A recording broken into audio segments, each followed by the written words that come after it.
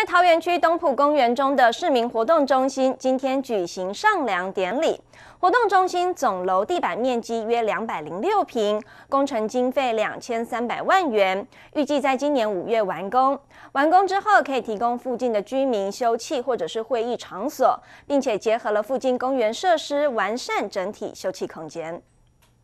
东浦公园中的市民活动中心今天举行上梁典礼，规划提供成长教室、社区关怀以及西级的长照据点等功能，方便市民朋友集会或是举办活动，打造健康的社区环境。预计在五月完工。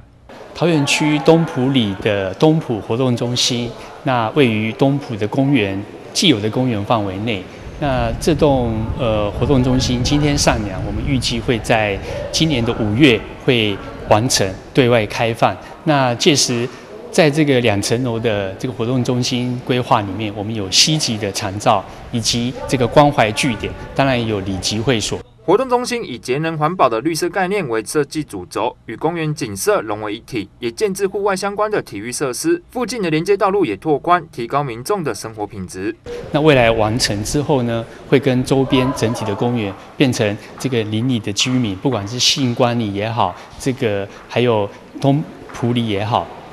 这个在地的里面会有提供一个很便捷、然后舒适、宽广的一个里的公园活动。